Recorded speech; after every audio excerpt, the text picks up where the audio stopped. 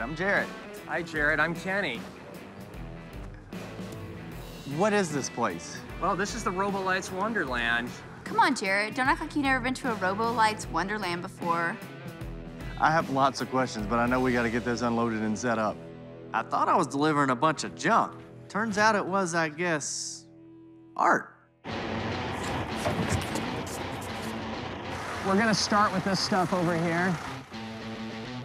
Yeah, I'm looking forward to making something out of this. Oh, of course, you can't forget the rocks. These are really important. Hey, you're the artist. If that thing breaks while it's in the air, it's not my fault. Watch out, be careful with that one-ton robo deer there. All right, we're good. Well, it's all together. Take a look at it and make sure everything's like it should be.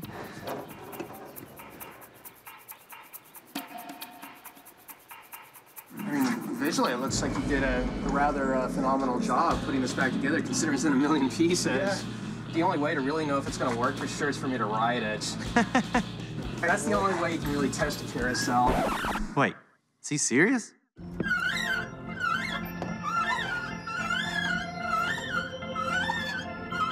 Sounds like it works great. No gas pedal, no steering wheel? This is the perfect rig for Jarrett.